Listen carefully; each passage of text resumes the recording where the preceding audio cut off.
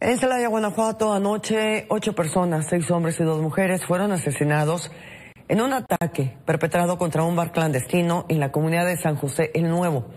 La Secretaría de Seguridad Ciudadana Municipal informó que otras cinco personas eh, resultaron lesionadas.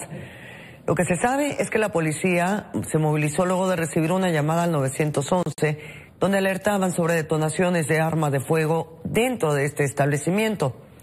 Al llegar encontraron a varias personas con impactos de bala. Se implementó un operativo de búsqueda para dar con los responsables y según testigos se trasladaban en motocicletas y en automóviles.